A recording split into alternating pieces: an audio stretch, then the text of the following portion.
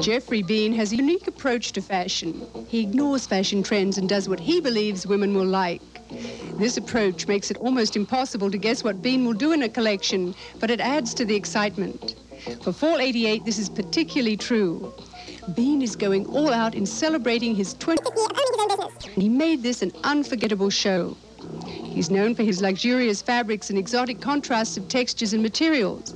This time he edges an orange leather bolero with black lace, designs a modern jumpsuit in cut patterned velvet, and makes ostrich feathers his favorite trim at the hem, the neck, and the wrist.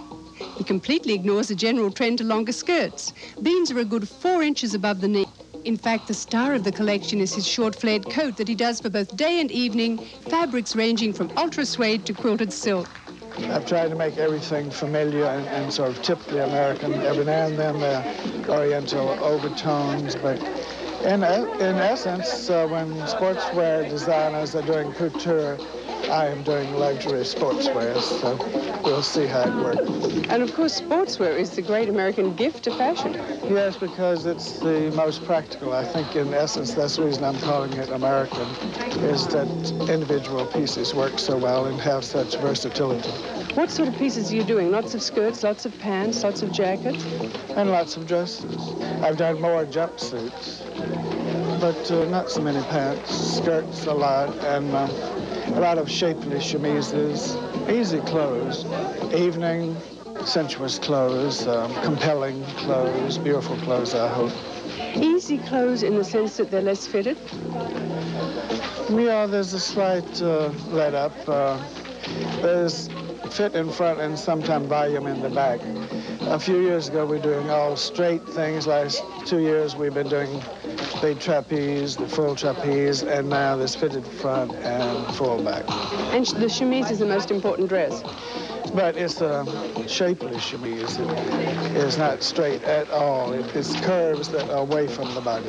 And what fabrics have you done it in? Mostly in jersey, but Charmeuse and and new puckered wools, um, satins, almost uh, in every fabric on the collection.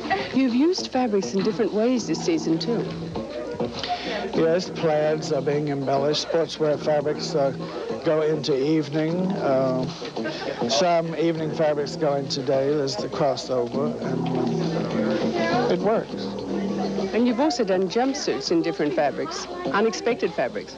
Yeah, I think the most unexpected one is my velour découpé, which is silk velvet jumpsuit with a wonderful sort of hacking jacket over it. It looks like today, if not tomorrow. Tell me, Geoffrey, what have you done about skirt length, or what are you doing about skirt length? Nothing.